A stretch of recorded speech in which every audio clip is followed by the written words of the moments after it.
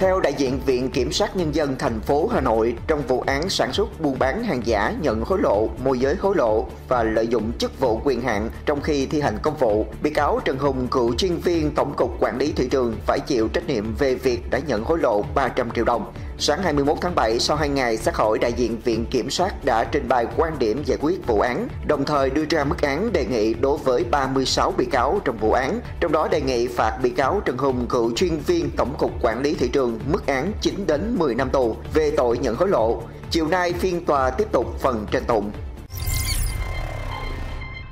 Sáng 21 tháng 7, trong quá trình đối đáp để làm rõ về hành vi của các bị cáo trong vụ án chuyến bay giải cứu, đại diện Viện Kiểm sát đã trình chiếu video cựu điều tra viên Hoàng Văn Hưng nhận chiếc cặp do bị cáo Nguyễn Anh Tuấn gửi tới. Trong chiếc cặp được cho là chứa 450.000 đô la Mỹ tiền trả án. Theo cáo trạng, Hoàng Văn Hưng nhiều lần nhận tiền từ bị cáo Nguyễn Anh Tuấn, cựu thiếu tướng, phó giám đốc công an thành phố Hà Nội. Lý do Hưng là điều tra viên thụ lý chính vụ chuyến bay giải cứu trong giai đoạn trước tháng 9 năm 2022. Bị cáo Hưng nhận tiền để chạy án cho các bị cáo Nguyễn Thị Thanh Hằng, Lê Hồng Sơn là những lãnh đạo công ty Blue Sky. Nhưng do bị chuyển công tác nên không còn thẩm quyền. Tuy vậy, bị cáo Hưng vẫn chiếm đoạt 800.000 đô la Mỹ và bị cáo bị buộc tội lừa đảo chiếm đoạt tài sản. Về nhận tiền cuối cùng 450.000 đô la Mỹ, kiểm sát viên cho hay Hoàng Văn Hưng từng khai không nhận gì của bị cáo Tuấn. Đến khi có video thì Hưng mới nói có nhận chiếc cặp nhưng bên trong là bốn chai rượu vang chứ không phải tiền.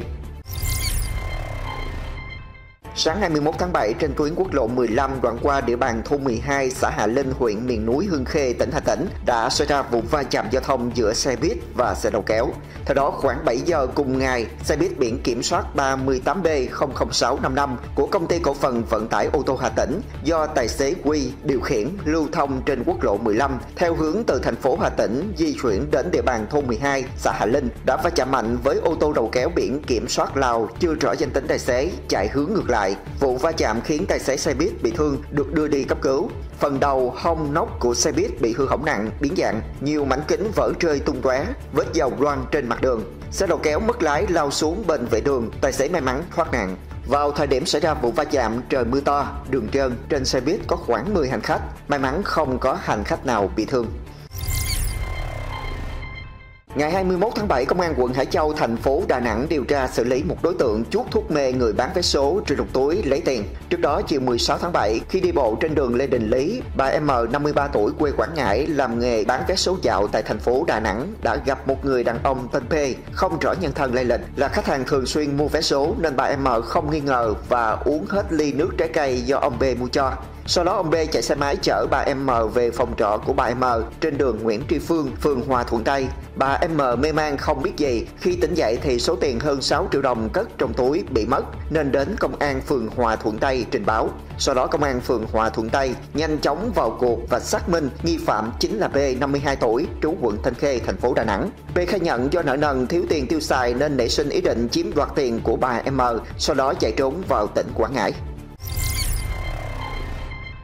Ngày 21 tháng 7, Công an huyện Tương Dương, tỉnh Nghệ An cho biết đã khởi tố vụ án khởi tố bị can, bắt tạm giam Kha Thị Phương, 38 tuổi, trú xã Lượng Minh về hành vi mua bán người. Theo đó, Công an huyện Tương Dương phát hiện một đường dây nghi mua bán người trên địa bàn xã Mây Sơn. Phương đã cấu kết với một số đối tượng ở nước ngoài, dụ dỗ các cô gái nhẹ dạ cả tin với lời hứa sang nước ngoài làm việc nhẹ lương cao, nhưng thực chất là đem bán để ép làm vợ đàn ông ngoại quốc. Cụ thể, Phương đã dụ dỗ lôi kéo được hai người phụ nữ đưa sang nước ngoài bán với số tiền tương đương 350 triệu đồng. Tại cơ quan công an, Kha Thị Phương khai nhận toàn bộ hành vi phạm tội của mình.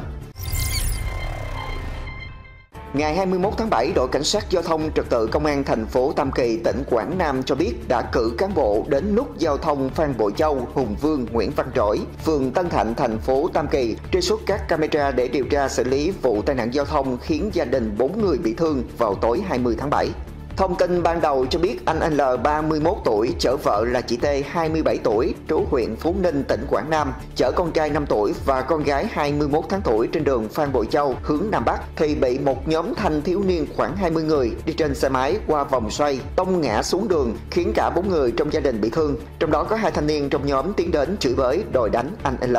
theo đó, anh L bị gãy ba chiếc răng, chị T và hai cháu bé bị trầy xước nhiều vị trí ở tay, chân, trán có dấu hiệu bị choáng do va chạm. Hiện tại sức khỏe của bốn người đã ổn định và xuất viện.